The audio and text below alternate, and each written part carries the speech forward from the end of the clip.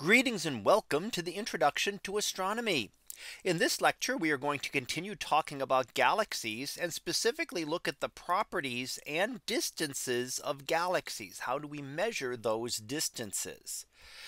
So let's start out with some of the basic properties. So what about the mass of a galaxy? How do we determine the mass? So remember in astronomy, all we can do is look at an object. All we do is see its light and we have to be able to do use it to determine the mass using just the light. And that is done from Kepler's third law as modified by Isaac Newton where we measure the rotation of the where we look at the rotation of objects in the galaxy. So we can look at two different things. We can either look at the rotation of objects such as stars in the galaxy as we see here for a rotation curve for a spiral galaxy. Or we can look at the broadening of spectral lines which uh, for an elliptical galaxy. Remember elliptical galaxies don't have quite the coherent rotation that a spiral galaxy does. When we measure these masses, we have a problem. The problem is that there is far more mass in the galaxies than what we can see. And we've talked about dark matter before. This is where dark matter comes in. We expect based on what we see the curve to follow the lower line, but it follows the upper line and increases, meaning that there has to be a lot more mass out beyond the edge of the galaxy here. There has to be a lot more mass all around it. Now when we look at galaxies, we can look at the ranges and we find that elliptical galaxies have a big range in mass. Here are the uh, ellipticals and they can go from 10 to the fifth solar masses, the smallest dwarf ellipticals, to 10 to the 13th, the giant ellipticals, much larger, 10 times larger than the largest spirals. So a big, big range here. Whereas the spirals and ellipticals and irregulars are a much narrower range. Diameters are the same. Big, big range in diameters, big range in luminosity. And we see that irregulars tend to be smaller than the spirals. So ellipticals and spirals are among the bigger two galaxies. Irregulars tend to be a little bit smaller in terms of the mass and the diameter.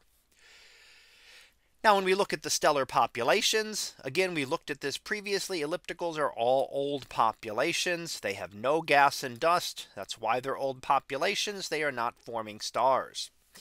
And we will come back and look at mass to light ratios again in a second here.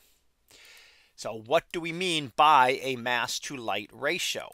Well, we compare the mass of the object in solar masses to the luminosity of the object in solar luminosities. And we divide these two. And that gives us what we call the mass to light ratio. Let's look at an example for the sun.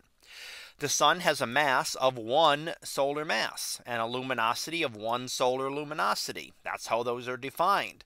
So 1 divided by 1 gives us 1 for the mass to light ratio of the sun.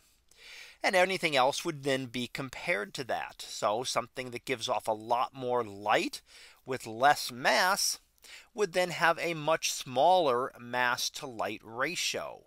It's giving a lot more luminosity. Something that has a lot of mass and is dark would give off a very would have a very high mass to light ratio. Now how does this apply? Well low mass stars contribute a lot of mass but very little light.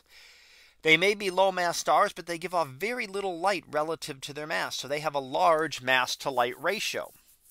High mass stars give a lot of light relative to their mass and therefore have a small last to mass to light ratio.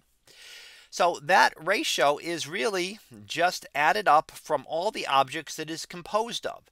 So very young galaxies with lots of very hot bright stars would have a low mass to light ratio maybe in the order of 1 to 10.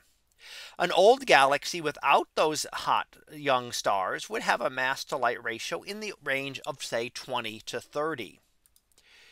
Now how about dark matter?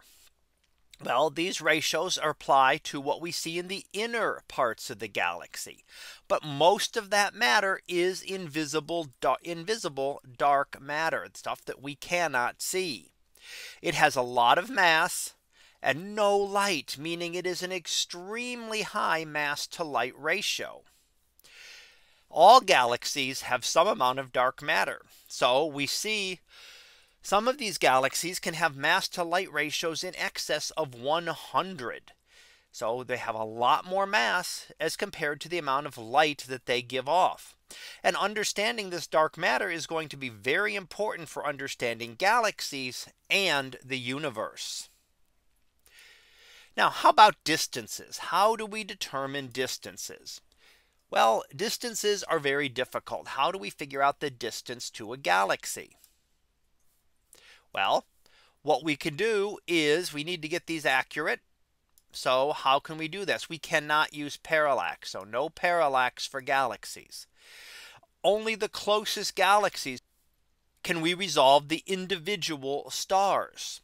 So things like variable stars and Cepheids do work, but only for the nearest galaxies. This is how we determined that Andromeda was actually another galaxy. So if we determine a find a Cepheid, the period luminosity relationship can be used to give us the distance then but you have to be able to resolve those stars and you can't see them once you get outside the local neighborhood of galaxies. So we have to use other things. Uh, some things we use are what we call standard bulbs or candles. So something that is a standard brightness. A standard bulb is an object with the same luminosity so that any differences in the apparent brightness only depend on the distance. They're all just as bright. So if something is very faint, it must be further away. If it's very bright, it must be close. So we know once the object is identified, we know the luminosity. We've got that. And we measure the apparent brightness, which means we can then determine the distance to these. Now one of the most prominent standard bulbs that we use are the type 1a supernovae. These are a good standard bulb. Why?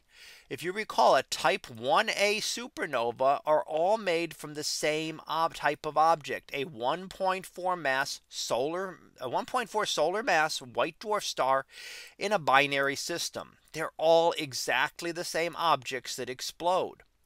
They should theoretically reach the same peak luminosity, meaning that when we see something like a supernova go off in one of these galaxies as we see here in images taken in March and then in July of 2012 from this small distant galaxy we can detect them we can then determine. We know it's a type 1 we identify it as a type 1 supernova so we know its peak brightness.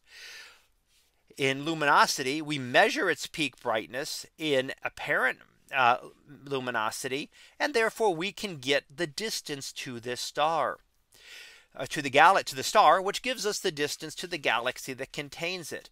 This works out to 8 billion light years. That's a good fraction out toward the edge of the universe considering that the universe is about 13 to 14 billion light years uh, outward so this is very important for determining distances and understanding the evolution of the universe. Now let's look at some other methods that are used to determine distances. For disk galaxies, we use the Tully-Fisher relationship, which says that the luminosity of a spiral galaxy is related to its rotation rate. More luminous spiral will spin faster. So we can measure this rotation speed through the 21 centimeter hydrogen line. Use this to determine the luminosity from our chart. So we measure the we measure the rotation.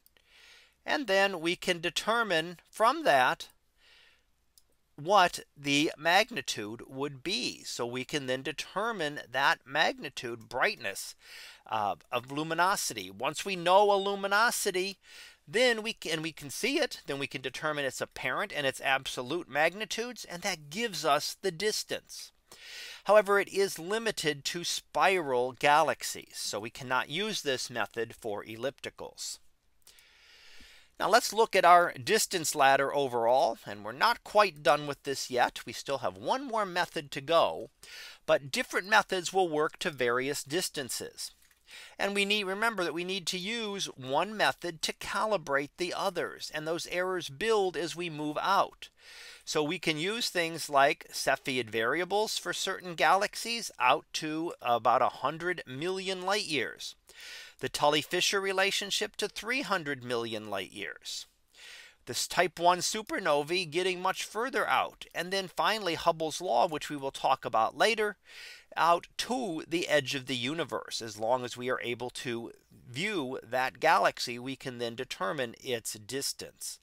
And remember that this builds on things the Cepheid variables builds on things that we looked at previously with spectroscopic parallax and with parallax itself as other ways of determining those distances. So each one builds on our knowledge from the previous uh, measurements.